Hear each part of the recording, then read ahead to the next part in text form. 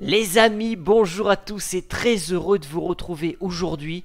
Waouh, quel match, quel but on a assisté. Euh, c'était extraordinaire. On est déjà à mi-chemin dans cette tournée américaine, mine de rien. Après la victoire brouillonne un petit peu, cette remontada contre le Milan. Aujourd'hui, victoire beaucoup plus sereine du Real avec deux buts formidables, extraordinaires. Le premier signé Jude Bellingham, un but zidanesque, on le verra juste après parce que j'ai pris des screens, et un, retourné acrobatique dont seul Rossellou a le secret, j'ai envie de dire, bien sûr je rigole, euh, à la 88e, un but extraordinaire qui vient sceller à la victoire du Real 2 à 0. Vous le voyez, hein, je suis dans un nouveau décor, je suis en vacances, ça va durer comme ça pendant un mois, donc le décor n'est pas optimal, mais voilà, je suis de nuit, les gens dorment à l'étage, donc on essaye de pas trop crier quand même pour pas les réveiller, parce que ben, comme je vous l'ai dit, il est 4h30 du matin.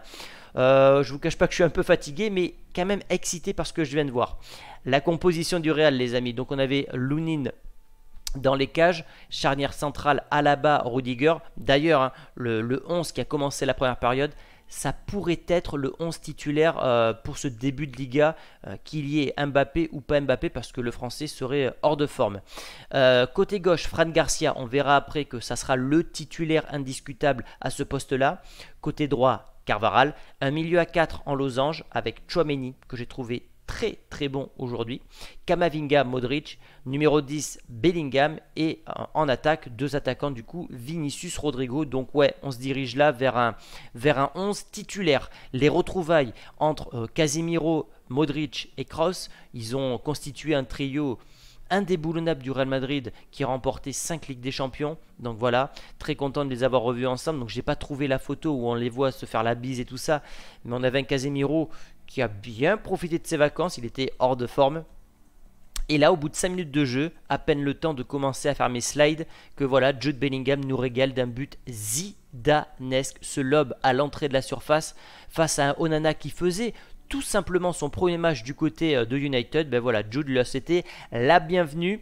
Il faut savoir, alors pour ceux qui n'ont pas vu le, but, allez le voir évidemment, mais Tactiquement, là, ce qui est intéressant avec Bellingham dans ce système de jeu où il est véritablement en tant que numéro 10, c'est que ce côté euh, très athlétique qu'il peut avoir est en train de véritablement servir le Real parce que, en fait, tu as deux pointes avec euh, Vinicius et Rodrigo. Ils vont reprendre leur positionnement naturel en s'écartant un petit peu de chaque côté, donc Vinicius à gauche, euh, à gauche et Rodrigo à droite. Et la défense centrale de Manchester va s'écarter à ce moment-là, ce qui laisse un boulevard pour Bellingham qui va prendre le ballon, s'excentrer un petit peu pour lober juste derrière Onana. Euh, beaucoup de physique chez ce joueur, capable de défendre. On l'a vu euh, plusieurs fois venir tacler, tacler pour aller aider ses coéquipiers, puis dans la foulée euh, prendre l'espace. Donc voilà, on est clairement dans la lignée de ce qu'il faisait à Dortmund, pas impressionné en tout cas. Et ouais, pour l'instant, on est sur une ère Vinicius Bellingham pour les prochaines années, en attendant peut-être celle d'Mbappé, en espérant qu'il arrive dans les prochains jours.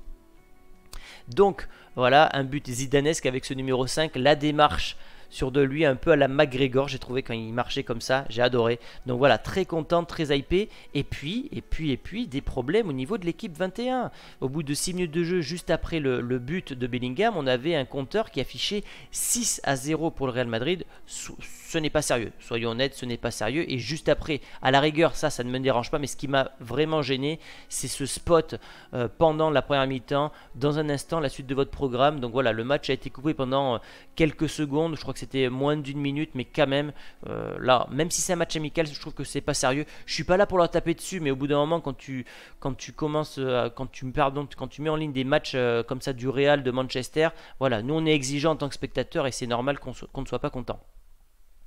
La suite, c'est que ce milieu de terrain, il est en train de prendre le pouvoir petit à petit, on l'avait déjà vu. Donc Valverde a mis son doublé euh, il y a trois jours contre le Milan. On avait vu un Kamavinga déjà excellent, il l'a confirmé aujourd'hui.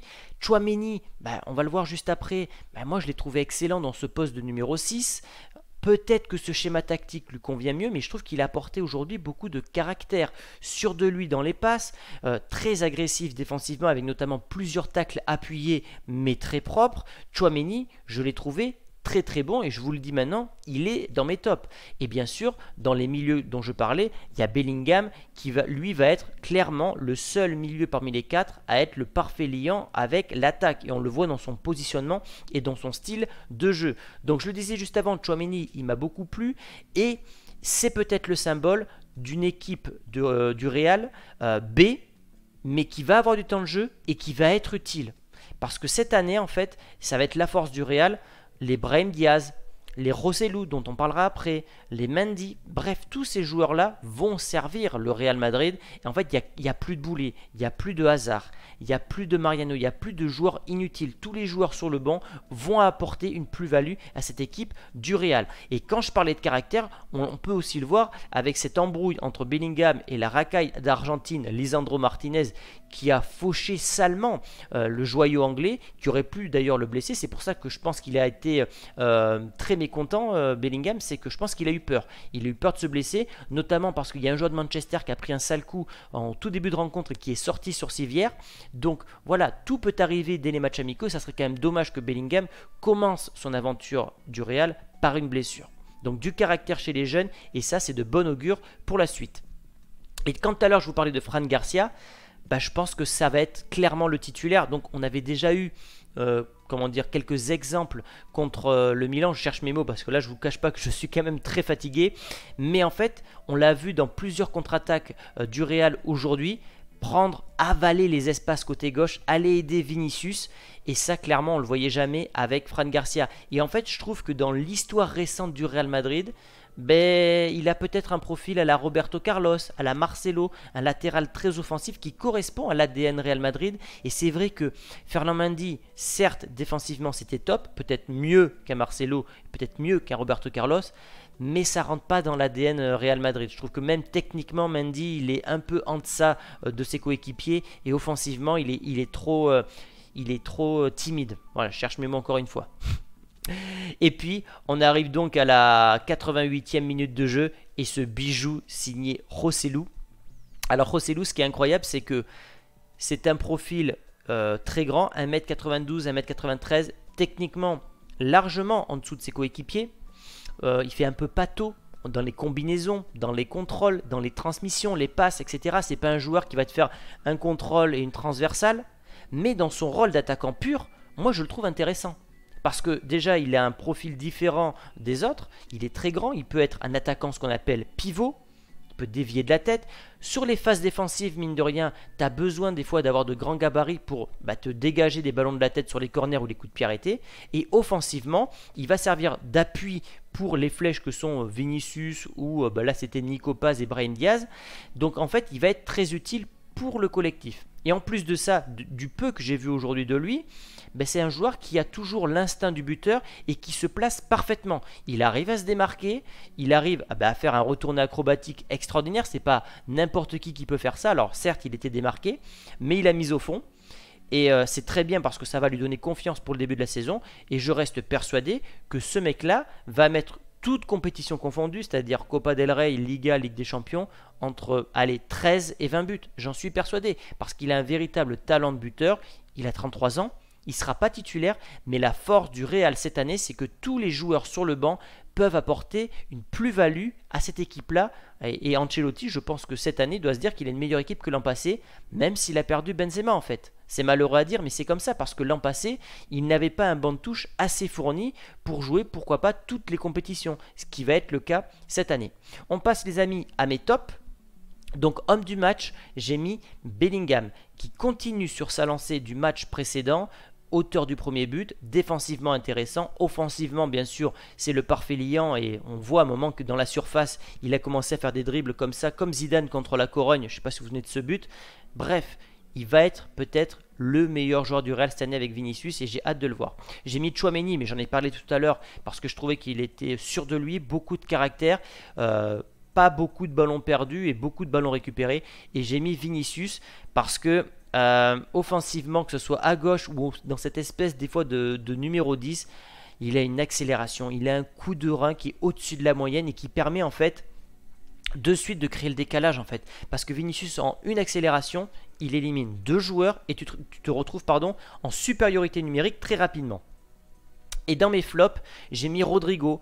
Euh, je trouve qu'aujourd'hui, il a perdu beaucoup de ballons. Je ne l'ai pas trouvé juste dans, ses transmissions, notamment sur ses centres, qui, étaient tout le temps destinés aux joueurs de Manchester United. Et euh, quand je le compare à ce qu'a produit, à ce qu'ont produit pardon, Bellingham et Vinicius aujourd'hui, c'est le maillon faible de l'attaque. J'ai mis Lucas Vasquez et Carvaral parce que côté droit aujourd'hui, euh, je suis désolé que ce soit Carvaral qui n'a pas réussi un centre ou Vasquez qui a été en difficulté défensivement on se rend compte et on le sait, et ça sera comme ça cette année, il faudra l'accepter. Le point faible du Real cette année, ça sera le poste de latéral droit.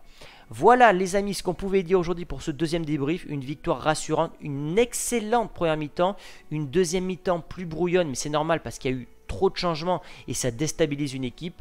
Mais deux buts extraordinaires signés Bellingham et Rossellou. Et ça, c'est une excellente nouvelle pour la suite. Deux matchs de victoire. Le prochain, c'est samedi contre le Barça. Je serai là, donc n'hésitez pas à activer la cloche, à vous abonner si ce n'est pas encore fait. Et je vous dis à très vite pour de prochaines vidéos. Là, je vais me jeter dans mon lit pour aller dormir parce que je suis éclaté. Ciao les amis